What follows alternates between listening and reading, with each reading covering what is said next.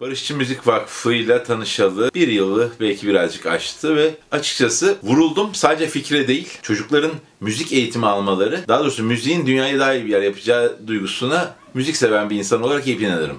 Sadece müzik değil aslında genel olarak sanatı yani basitçe sadece insanların karnını doyurması sadece meslek sahibi olması ve sadece para kazanmasının dünyayı daha iyi bir yere götürmediğini ancak sanat gibi bundan daha yukarıda bir amaca, bir ideale hizmet ettiğinde elde edilen faydanın da sadece insanın cebine giren ya da karnını doyuran bir şey olmanın ötesinde ruhunu doyuran bir şey olduğu zaman dünyayı daha iyi insanlar oluşturacağını inanan bir adamım. Bu açıdan müziğin çocuklara herkese ulaştırılması fikri çok cazip gelmişti. Ama daha çok etkileyici olan aslında küresel sistema projesinden falan bağımsız Türkiye'de Barışçı Müzik Vakfı'nın ki insanın çoğunlukla kendi eforlarıyla ve kendi kaynaklarıyla uğraşarak, didinerek bu kadar çok çocuğun hayatına dokunabilecek bir etki yaratabilmiş olmaları gerçekten çok büyüleyiciydi. Biraz da utandırıcıydı açıkça söylemek gerekirse. Toplamda kendi becerebildiklerimiz, kişisel faydamız için ya da kendi ailelerimiz için yaptıklarımızın yanında topluma geriye katabilmek için becerebildiklerimizle karşılaştırıldığında hiçbir şey yapmadığımız duygusuyla insanı